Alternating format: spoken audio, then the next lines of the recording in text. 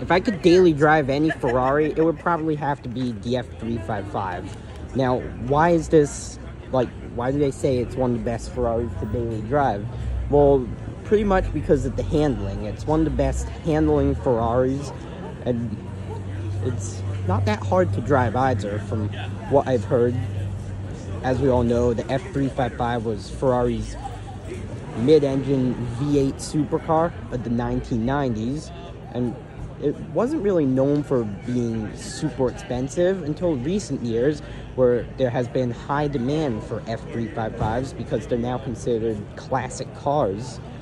And I could see why, because I'm a big fan of the F355. The exhaust of the V8 engine, one of the best sounding engines Ferrari has ever made, in my opinion. That's what the F355 is known for. You have a really iconic design that pretty much defines Ferrari of the 1990s to me. It's kind of like a miniature F50, which is the big boy, rare $5 million V12 hypercar.